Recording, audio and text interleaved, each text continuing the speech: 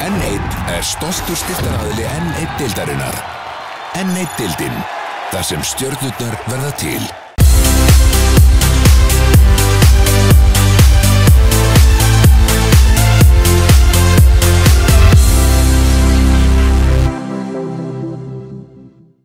Skúlega, það er örgulega erfitt að kannski tjóða sér mikið um þetta núna en þetta er súrt að, að tapa sér í, í dag.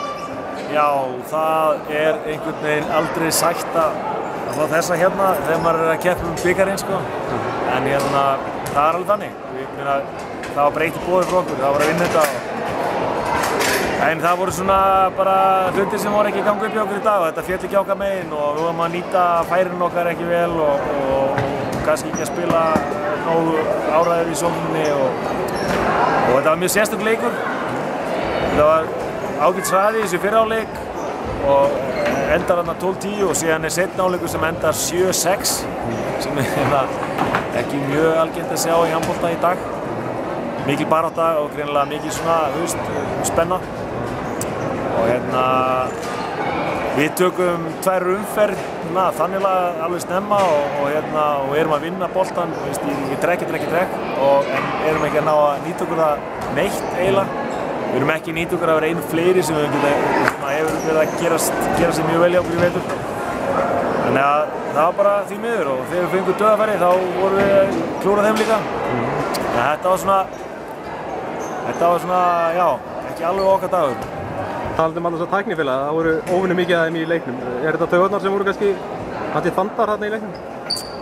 Já, ég held sko klálega að hafa það áhrif og það er nú að báða bóa einhverju tæknifélagar og, og kannski segir mest líka bara markatallan í setmáleik, 7-6, hún segir rosalega mikið um hérna, það er náttúrulega spenna, undirleikandi spenna í gangi sko, klálega.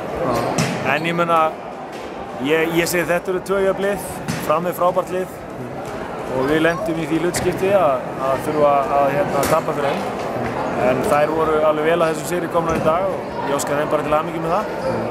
Já, svona horfir á kannski tímanbili í heilsinni, þú lítur bara að vera stoltur á stelpunum að þið fari Ég er ríkala stoltur af stelpunum og veitum alltaf bara alveg ótrúlega flottur hópur og finnst það voru alveg meiri áttur að starfa með. Þannig að ég er uppfullu þakklæti hvað það var það, ekki spurning. Mm.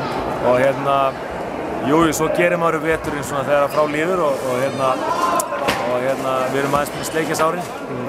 Þannig að það er alltaf næsta ár, áttu vona einhverjum miklu breytingu hjá okkur komið kjöfnum? Eh, ég á ekkert vona á einhverjum stórkvæslegum breytingum, en það verður kannski einhverja breytingar, en, en við höfum náttúrulega volítið hérna viljað bæði tjá okkur um þetta núna með að við erum í, í kefninni og þannig að við, við svona förum að auðvitað skoða og ræða þessi mál svona í framhaldinu.